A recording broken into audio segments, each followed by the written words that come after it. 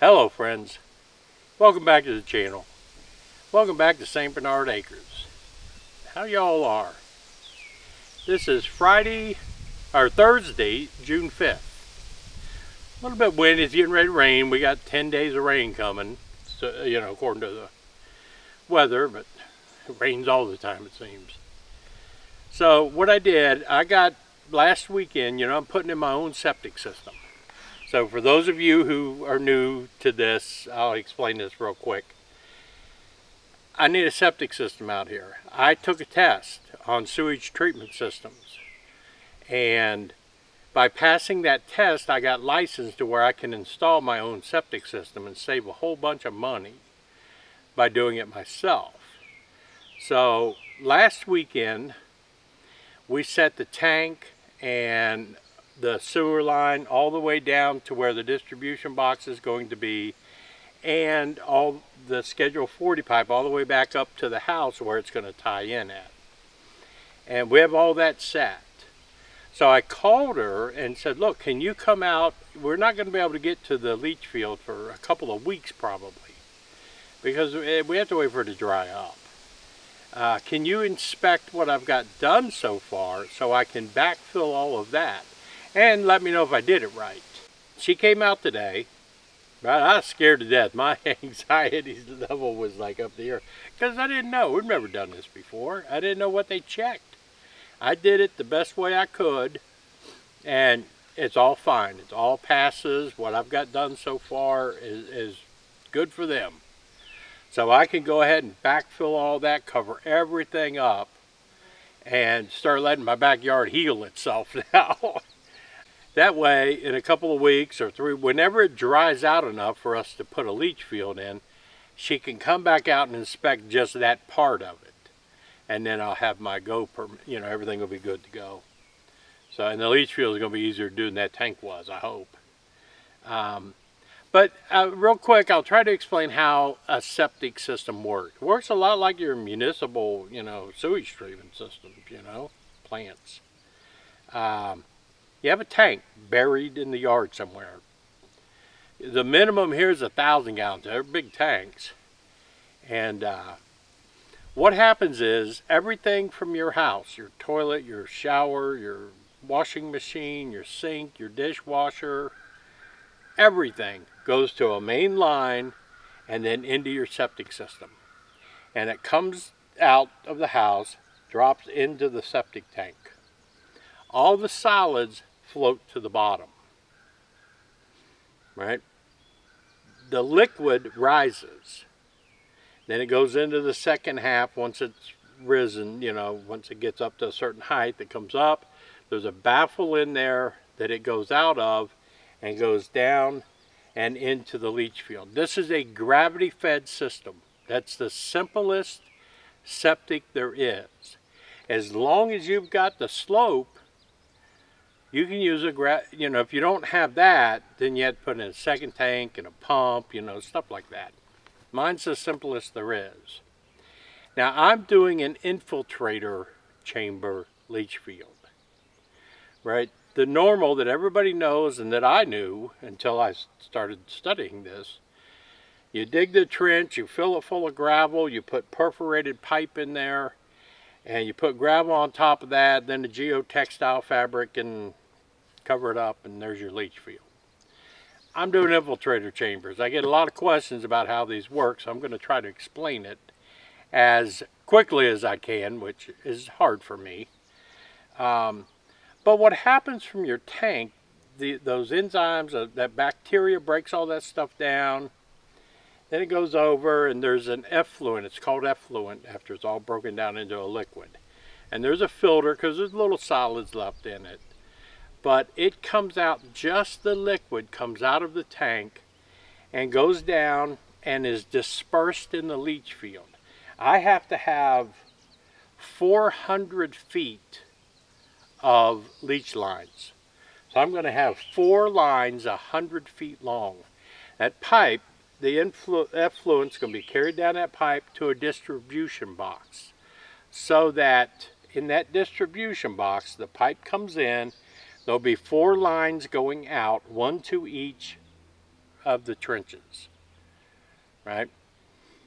And then it's dispersed on the soil, right? And then it's absorbed. That's why you have a perk test. They have to determine how fast the water is absorbed into the earth.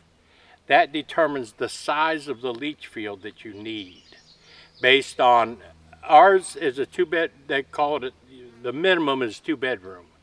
240 gallons a day is what has to leach as far as they're concerned. So there's all that math in there that figures that out. But you know it gets it gets broken down into water basically. The water comes down it's absorbed into the soil the final greatest filter there is and it's all filtered before it gets down to the water table.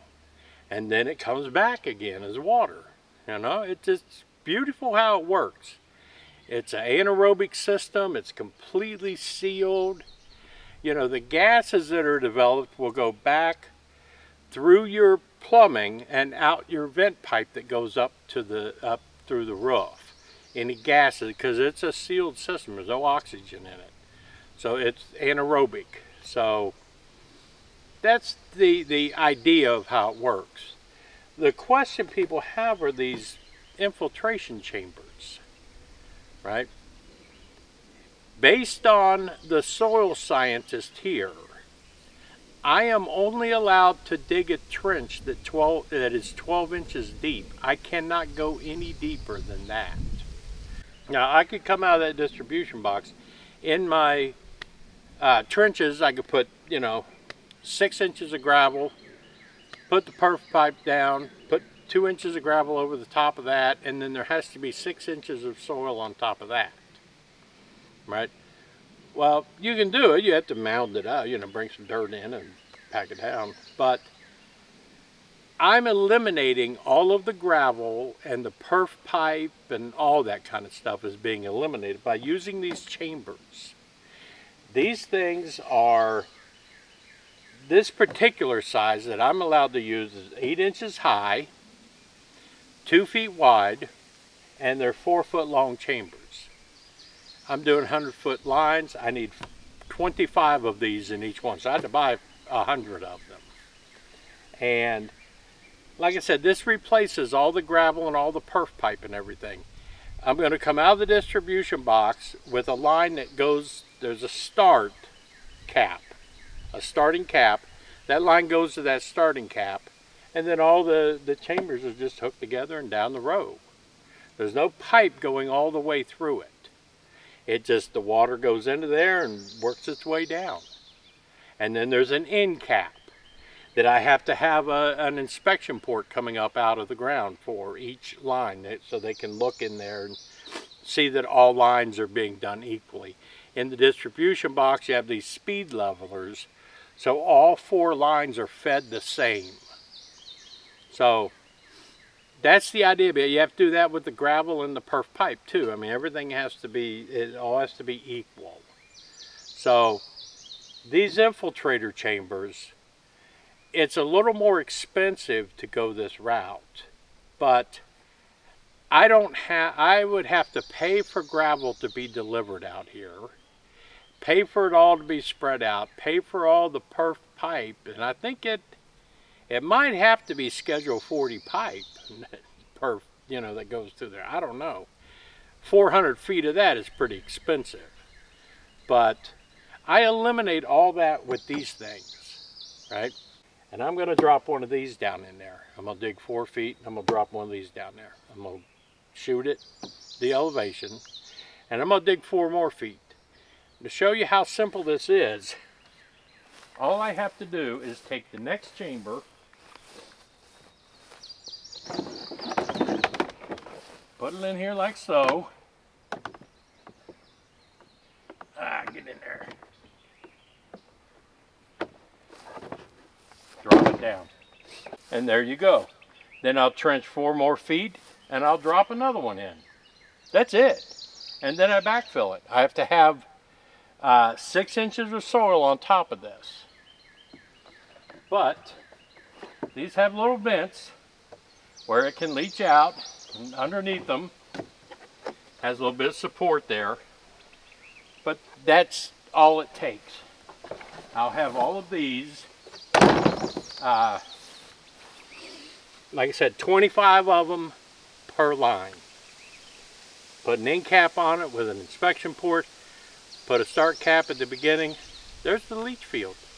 She comes out, makes sure that everything, you know, and these, it's real easy to follow the contour of my land because I have to build my leach field on a slope.